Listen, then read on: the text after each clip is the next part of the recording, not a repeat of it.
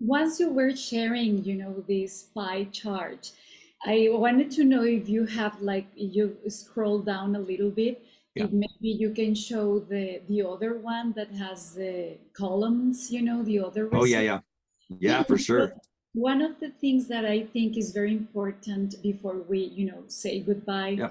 Ayurveda is endless, endless. So, but I think it's very important that people understand that we need to um, apply the Ayurveda principles uh, in the Vikruti, in this, you know, in the second result, in the one that has the columns, because um, the pie chart is our essence, but Mhm. the other one is telling us the unbalance. So, um, how we start applying Ayurveda, working on the energy that is more, you know, accumulated. That's how we say in Ayurveda. So, if my energy, as in your chart, Paul, this is your chart, right? Mm, Yeah. So you have a more tendency to be on balance, in balance in Vata.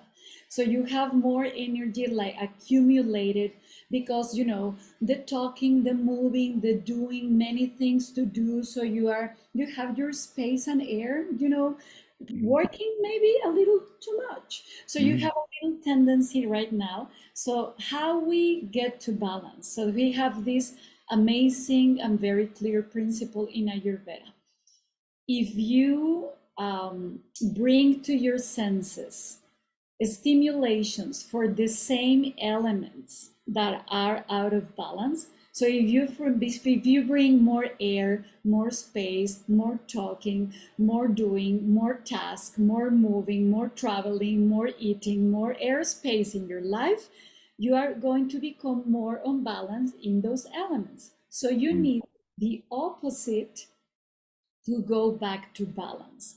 So Mm. you need more heat, more water, more grounding. You know, Mm. so we need to find foods that bring us a little more heat, like ginger, cinnamon, uh, you know, pepper, and maybe some acid fruit, some salty, you know, food, maybe from the sea, maybe some you know, uh, people from, um, you know, food from the sea, and so on. You know, more water, more teas, more hydration, and so on. In order to bring Vata to the ground, in order to heat up Vata, because Vata has, you know, more space and air and more cold. So I just wanted to, you know, have Super this cool. recall to So people good. really focus on the unbalance or the imbalance energy.